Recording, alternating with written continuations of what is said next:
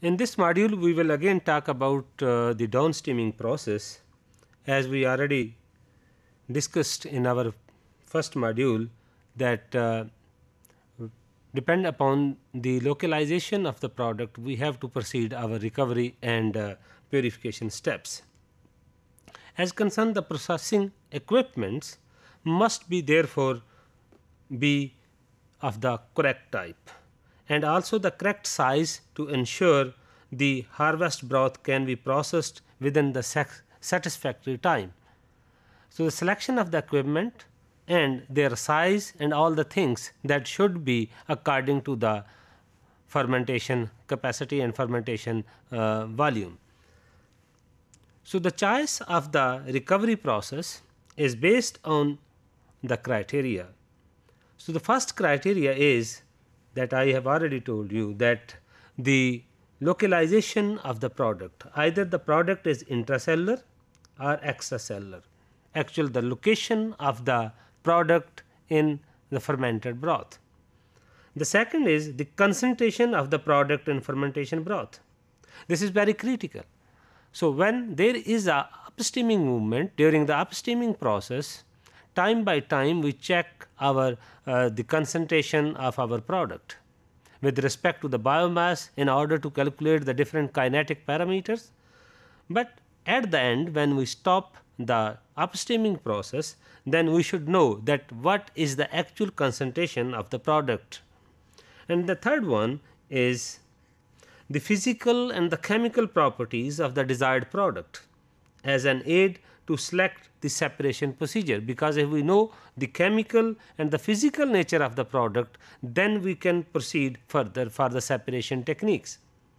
And the fourth is intended use of the product. So, what is the use of that product?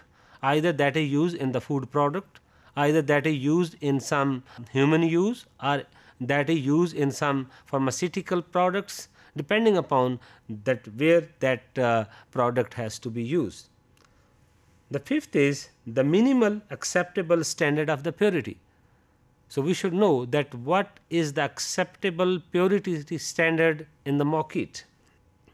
The sixth, the magnitude of the biohazards of the product or the broth. Very critical because this is this uh, criteria is directly linked with the containment level of the fermentation process. Once that we have checked the risk associated with the process organism on other hand the product. If that product is also having some biohazards we should continue our recovery process accordingly.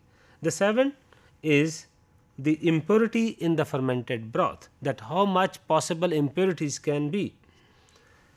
The eighth is the marketable price of the product. So, if the processing cost of that product is very high and we cannot compete in the market, then the whole process of the fermentation was useless.